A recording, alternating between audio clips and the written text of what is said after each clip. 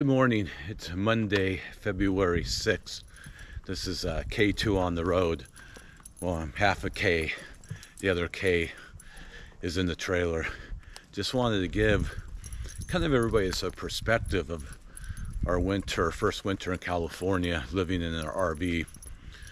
We're on our friend's property here, and a week from today, on February 13th, we plan on heading out of here, going to Death Valley, Vegas, kind of southern Utah, into Arizona, New Mexico, Texas, seeing friends and some family in all those locations, and make our way back up to South Dakota in uh, hopefully beginning of May. So, just want to give everybody an idea of the property we stayed at in California for the winter.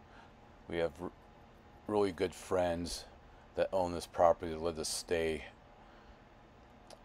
in the back part of the property. We'll get to that to that in a second. I think this is 10 or 12 acres they have. The house off to the left, and their uh, their first shop there coming up on. There's Kelly's white car over there in front of the shop, and then we'll go through the gate, going down into the back of their property here, where our trailer was. And as we come down this long driveway, you can kind of see the second shop that they have their big fifth wheel stored in there.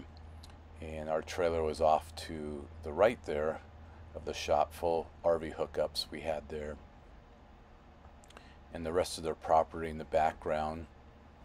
They really keep their property really nice looking, do a great job of really keeping it up. It's, it's almost like a park setting out there. We're really fortunate to wake up every morning to the scenery out here, the horses.